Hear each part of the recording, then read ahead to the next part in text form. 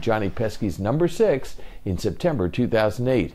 As a testimony in perpetuity to his popularity, the right field pole in Fenway Park is named in Johnny Pesky. Sox on September 28, 2008. He did have, um, you know, 1,455 hits.